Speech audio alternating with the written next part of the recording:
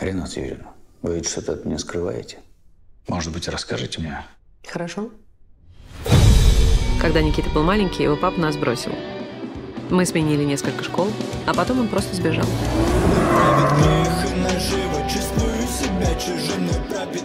Сегодня у моей Ренаты день рождения. Это для тебя. Аллегория материнства. Всегда умудряется праздник испортить. Ни воспитание, ни школа не уберегут вашего ребенка, если по пятницам у него из головы вырастают рожки. Поговори с ним. О чем?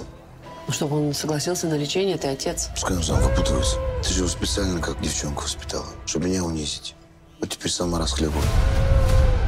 У меня 50 человек в подчинении. Я знаю, о чем они говорят, кто с кем спит, знаю, кто меня ненавидит. Но я ничего не понимаю про своего сына. Ну так скажи это, что любишь меня. Это ж так просто.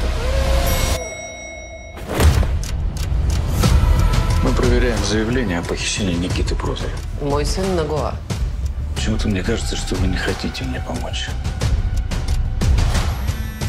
Вы видели, как Никиту похитили? Нет, но я открыла дверь, меня попросили. Зависимы все.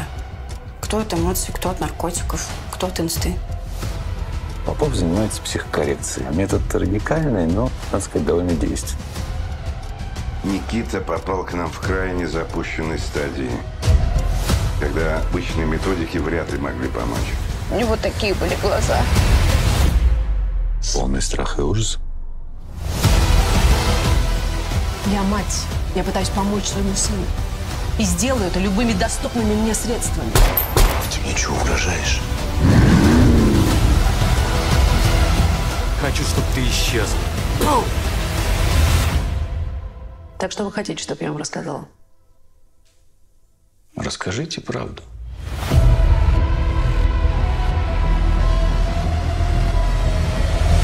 Никит! Мама, ума.